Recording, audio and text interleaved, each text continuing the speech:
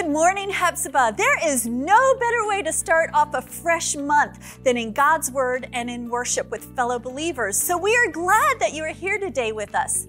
Just a quick reminder do you remember last week how we were talking about serve and see? Well, there are still opportunities that are going on this week. Churches all across North Carolina are coming together this week to serve their local community through service projects. There are many opportunities to get involved and to serve together. You'll find a list of all of these opportunities in our church app that will provide detailed information on where to be and what to expect. Don't have the church app, you say? Well, take a moment to download it right now by searching My Church in your App Store and use the keyword HBC Wendell to get connected. Now it's that time of year again when we begin planning for 2025.